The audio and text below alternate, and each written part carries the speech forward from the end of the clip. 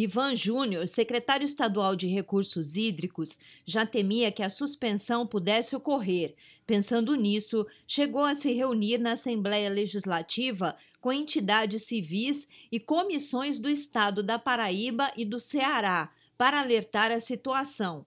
Também foi feito contato com Éder Barbalho, ministro da Integração Nacional, para sugerir a contratação emergencial de uma empresa caso a licitação fosse suspensa, como aconteceu.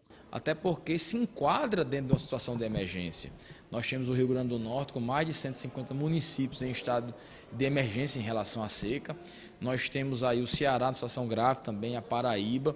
Então tem todo o enquadramento que dá legitimidade para tomar algumas providências para ser concluída essa obra. Não podemos esperar é, que seja discutido só é, essa, essa ação na justiça que possa levar meses ou até anos. A suspensão ocorreu porque durante a licitação foi escolhida a empresa que estava em terceiro lugar. O resultado foi questionado pelas outras empresas e houve o pedido de liminar.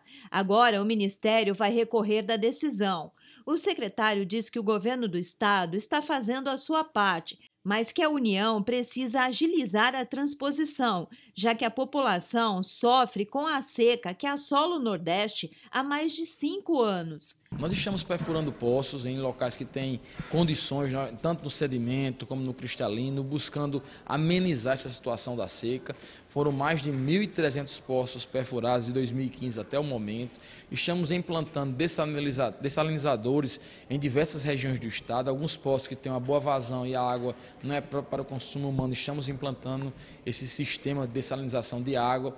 Estamos também é, construindo e melhorando alguns açudes, pequenas barragens para para é, também ser uma, mais uma garantia hídrica para algumas cidades. Estamos licitando agora pro, é, novas cisternas que serão construídas também.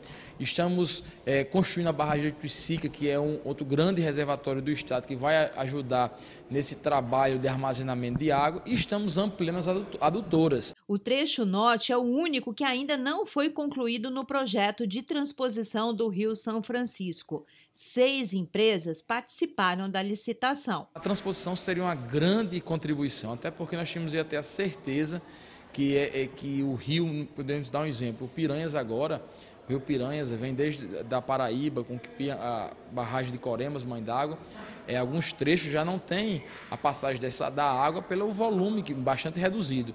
E com a chegada da transposição do Rio Grande do Norte, nós, vamos ir, nós íamos ter a perenização, essa água ia você conseguir descer até o Rio Grande do Norte. Com isso, ajudar em alguns projetos.